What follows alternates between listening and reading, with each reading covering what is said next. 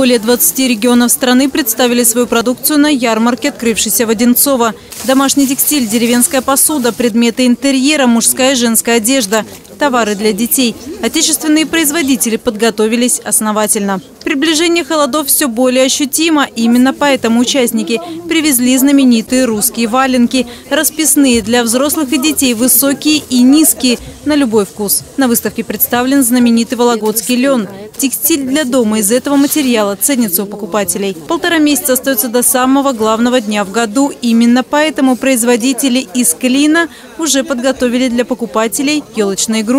И первыми новые коллекции увидят именно одинцовцы. Ярмарка продлится до 17 ноября. Узнайте больше об отечественных производителях. И, конечно, приходите на мастер-классы от ремесленников и народных мастеров. Мария Шматкова, Денис Харламов, телекомпания «Одинцова».